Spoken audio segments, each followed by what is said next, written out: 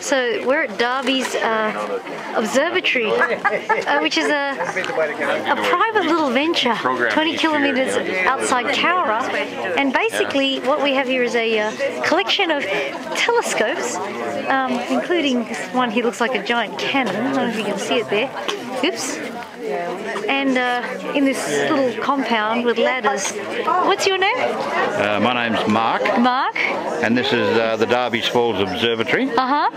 And uh, we're out uh, looking at Saturn at the moment. We look through a 20 inch Newtonian telescope. Uh, it's an omnidirectional ball scope. It's mounted on a ball. Right. And it's sitting on a drive platform so that it tracks. Yeah, we You- built it and it's built to a tenth of a wave, which is research quality. Built them down in Haberfield in Sydney. And we just saw Saturn. Saturn, yeah. It was just incredible. Is that you? It, you- it's got a ring. The Saturn's ring is uh, 270,000 kilometres in diameter Uh-huh. and 100 metres thick.